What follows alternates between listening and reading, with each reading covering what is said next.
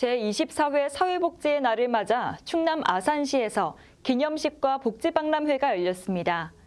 지역사회의 복지 증진을 위해 헌신해온 사회복지 유공자에 대한 포상도 수여됐는데요. 장수현 기자입니다. 지난 12일 아산시 신정호 야외음악당에서 아산시 사회복지협의회가 주관하는 제24회 사회복지의 날 기념식 및 복지 박람회가 개최되었습니다.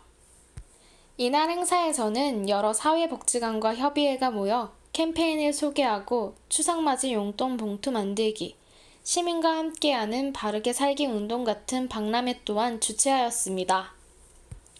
행사를 기념하는 축하 공연 또한 이어졌습니다.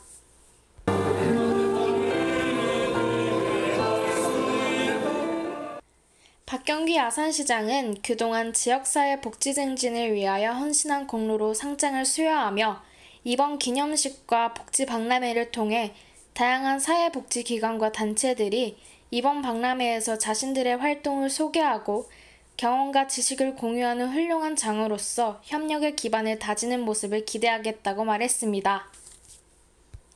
복지TV 뉴스 장수연이었습니다.